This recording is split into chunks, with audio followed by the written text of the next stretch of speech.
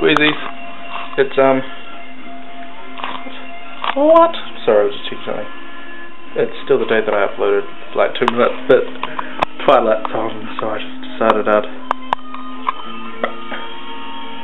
put that as the title to this video. oh, oh, I remember when I first went to see this. I saw it premiere, and then I was like in love with it, and then I read all the books. It's still a good film. I'm not sure why people hate it.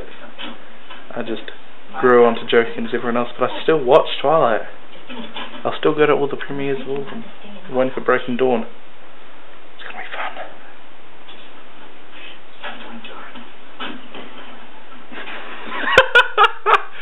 Ah, yes. Alright. Right, so I went for my brother because, of course, he forgot his timetable. So he's to take forever. Yeah, I'm filming. But I just got a text from him. Um, I just, my phone just confirmed a text. The first, the first 2070 at 12. Which is... Not now. So yeah, I'm going to send a text to my mum, apparently with still this phone, on the 1st of the 1st, 2070. There he is. Damn, what took this time? I don't film because it's hot. I'm hot. We're all hot. You're oh, maybe. You're not. I'm sweating. I don't do. Open a window. I'm a sexy beast. The usual. So I... Mary, door's open. Oh, I'm going to close the door. You wait there.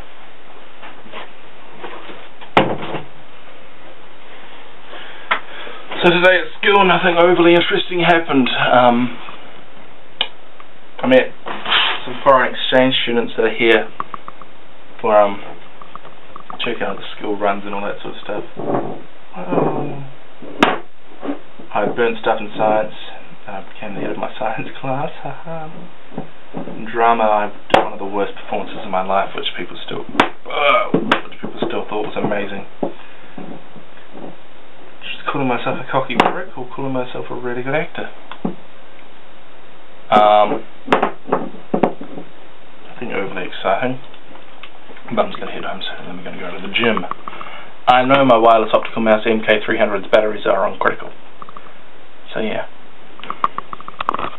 So I'm back and fully sweaty from having, that, that's all sweat.